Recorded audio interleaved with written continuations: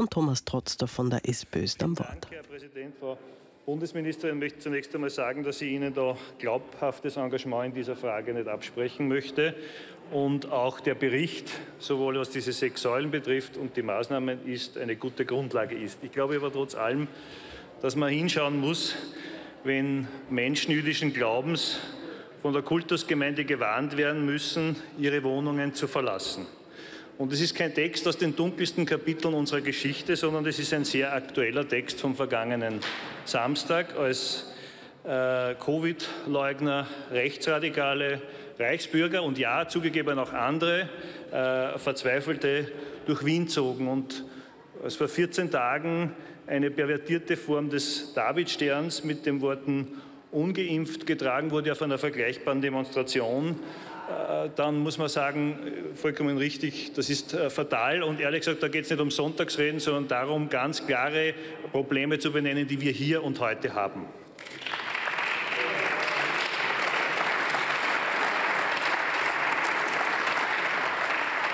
Klar ist, Antisemitismus ist nicht zu akzeptieren durch keine Begründung und es kann auch keine Begründung für den Antisemitismus geben, weil es keine Gründe für Antisemitismus gibt. So einfach ist es eigentlich.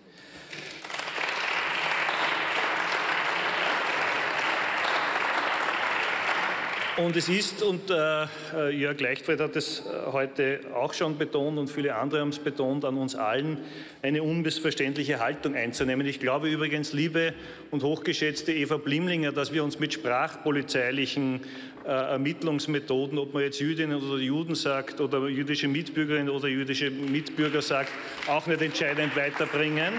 Ich verstehe die Intention deiner, deiner, deiner Wortmeldung, aber es zeigt sozusagen, dass es ein sensibles Thema ist und ich würde niemand absprechen, mit diesem Thema sensibel umgehen zu wollen, insbesondere dem Kollegen Leichtfried nicht. Aber gestattet mir bitte oder gestatten Sie mir bitte in meiner vorletzten Rede noch auf ein Thema zu sprechen zu kommen, das jetzt nicht unmittelbar damit zu tun hat, aber irgendwie doch. Und ich zitiere äh, einen Artikel aus der Wiener Zeitung aus dem Jahr 1773. Mit Vergnügen sehen wir, dass Herr von B. weder Juden noch Leute, die andere Meinungen in einer oder einer anderen Glaubenslehre hegen, aus seiner Sammlung ausgeschlossen. Und mit ebenso viel Vergnügen unterschreiben wir das Urteil, dass die Toleranz in der Republik der Gelehrten noch weit mehr stattfinden müsste als in jedem anderen Wesen. Ich wiederhole, die Toleranz jeden Glauben gegenüber muss in der Republik der Gelehrten stark stattfinden. Eine Botschaft, die 250 Jahre später immer noch richtig ist und die sich alle zu Herzen nehmen sollten, insbesondere jene, die im Moment die Wiener Zeitung zu Grabe äh, tragen.